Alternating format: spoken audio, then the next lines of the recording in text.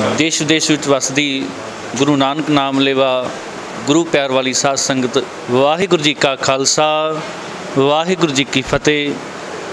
ਪੰਥ ਦੇ ਮਹਾਨ ਕੀਰਤਨੀ ਭਾਈ ਸਾਹਿਬ, ਭਾਈ ਗੁਰਦੇਵ ਸਿੰਘ ਜੀ ਕੁਹਾੜਕਾ, ਹਜੂਰੀ ਰਾਗੀ ਸੱਚਖੰਡ ਸ੍ਰੀ ਦਰਬਾਰ ਸਾਹਿਬ ਵੱਲੋਂ ਜੋ ਵਿਸ਼ੇਸ਼ ਤੌਰ ਤੇ ਉਪਰਾਲਾ ਤਕਰੀਬਨ 2 ਸਾਲ ਤੋਂ ਸੰਤ ਹਰਦੇਵ ਸਿੰਘ ਜੀ ਗੁਰਮਤ ਸੰਗੀਤ ਵਿਦਿਆਲਿਆ ਗੁਰਮਤ ਦੇ ਪ੍ਰਚਾਰ ਲਈ ਆਉਣ ਵਾਲੇ ਸਮੇਂ ਵਿੱਚ ਸਿੱਖ ਫੁਲਵਾੜੀ ਦੇ ਜੋ ਮਹਿਕਦੇ ਫੁੱਲ ਹਨ, ਛੋਟੇ ਬੱਚਿਆਂ ਨੂੰ ਗੁਰਮਤ ਸੰਗੀਤ ਦੇ ਨਾਲ ਜੋੜਨ ਲਈ ਇਹ ਮਹਾਨ ਉਪਰਾਲਾ ਹੈ ਭਾਈ ਸਾਹਿਬ ਦਾ ਅਤੇ ਨਾਲ ਹੀ ਨਾਲ ਇਹਨਾਂ ਵੱਲੋਂ ਸੁਰ ਸਾਂਝ ਟੀਵੀ ਜੋ ਗੁਰਬਾਣੀ ਕੀਰਤਨ ਦਾ ਲਾਈਵ ਪ੍ਰਸਾਰਣ ਸੰਗਤਾਂ ਰਾਹੀਂ ਪਹੁੰਚਾਇਆ ਜਾਏਗਾ।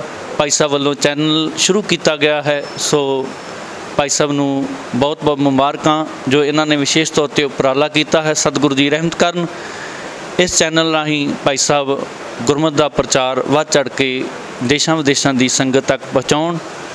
ਸੋ ਗੁਰੂ ਫਤਿਹ ਪ੍ਰਵਾਨ ਕਰਨਾ ਜੀ। ਵਾਹਿਗੁਰੂ ਜੀ ਕਾ ਖਾਲਸਾ, ਵਾਹਿਗੁਰੂ ਜੀ ਕੀ ਫਤਿਹ।